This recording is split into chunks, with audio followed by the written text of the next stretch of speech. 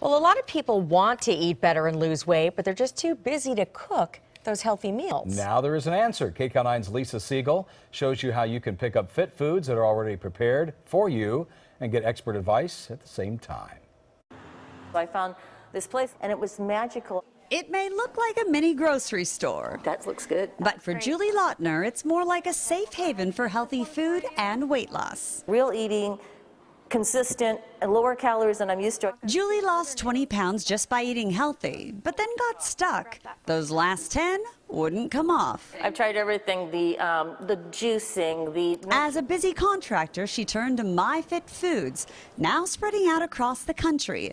A place that's all about feeling great, saving time, and free counseling. Along, of course, with Fit Foods. We see just about anybody and everyone. Busy professionals, moms, you know, students.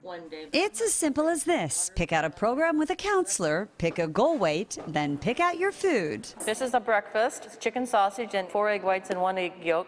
And then lunch is, this one is the chicken with a nut crust. And then dinner, pecan crusted white fish with broccoli and sweet mashed potatoes. Usually two to three main meals and two snacks, from yogurt parfaits to shakes to salads, made in their own kitchen. This can really be catered to anyone, and calories can vary quite a bit depending on the individual, but we normally wouldn't recommend anyone to go below 1,200 calories.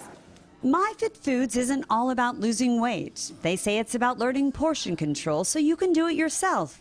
It's also a solution to fast food when time is precious. Whether it's to gain weight, lose weight, get healthy from the inside out, there's something that we have here for you.